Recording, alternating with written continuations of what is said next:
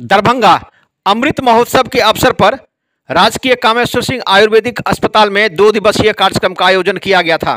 दो नवंबर को वैदिक मंत्रोच्चारण एवं हवन के बाद कार्यक्रम का हुआ समापन। इस अवसर पर अस्पताल अधीक्षक डॉक्टर दिनेश्वर प्रसाद ने बताया कि हवन करने से वातावरण शुद्ध होता है। वर्तमान समय में जो वातावरण प्रदूषित हो गया है, उसमें हवन करने से वातावरण शुद्ध होता है। इसकी धुआँ जहाँ जहाँ जाता है, वो वातावरण शुद्ध होता है। वहीं इन्होंने कहा कि आयुर्वेद में सभी बीमारियों का इलाज है।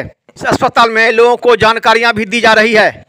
लोगों को चाहिए कि इससे लाभ उठावें। दरभंगा दर्शन न्यूज़ से मनोज झा। ये जो अमृत महोत्सव के अवसर पर इस अस्पताल में जो दो दिनों का कार्यक्रम हुआ, आज अंतिम दिन है, यहाँ होम जाप किया गया विधिवत। क्या कहेंगे आप?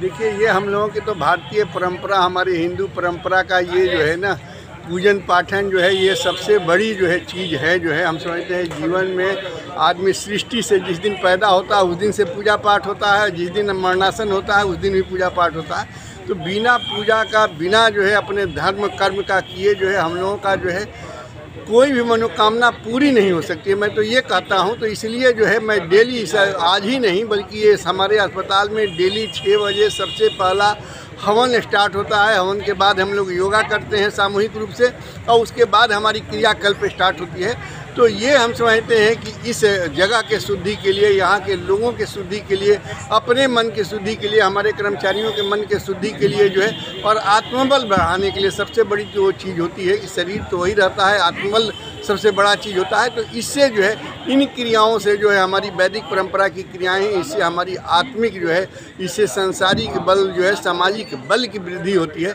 इसलिए हम लोगों को जो है नियमित रूप से ये करना चाहिए, जो है साहब हवन होना चाहिए, जो है पूजा पाठ होना चाहिए। और आयुर्वेद तो आप जानते हैं कि ये धर्म का जो है विज्ञान है, जो है, ये धर्म का केवल मतलब हिंदू और मुस्लिम और सिख ईसाई का नहीं होता है। धर्म का मतलब होता है धारण करना जो शरीर के लिए, समाज के लिए, जो अपने परिवार के लिए, अपने राज्य के लिए, अपने राष्ट्र के लिए जो उत्तम चीज़ है, वही सबसे बड़ा धर्म है। तो ये एक धर्म का काम हम लोग कर रहे हैं कि इससे धर्म का कि ध- किसी भी वो संप्रदाय के लोग हों, लेकिन स्वास्थ्य की समस्या सबको आती है जो है।